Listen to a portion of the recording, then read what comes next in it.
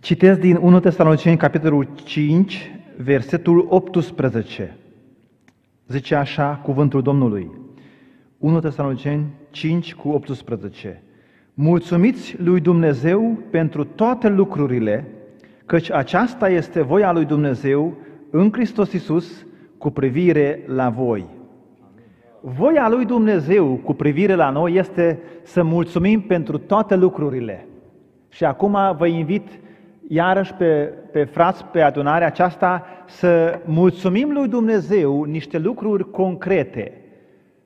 Să mulțumim că El există în Tată, Fiul și Duhul Sfânt. Să mulțumim pentru biserica Lui, pentru adunarea noastră de unde venim. Hristos iubește biserica.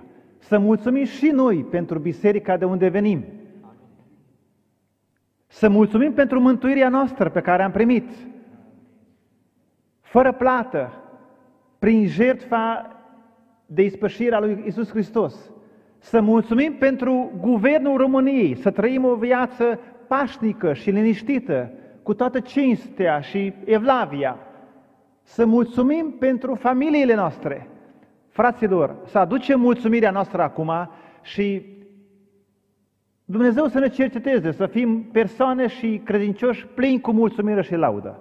Continuăm rugăciunea, fraților. Aș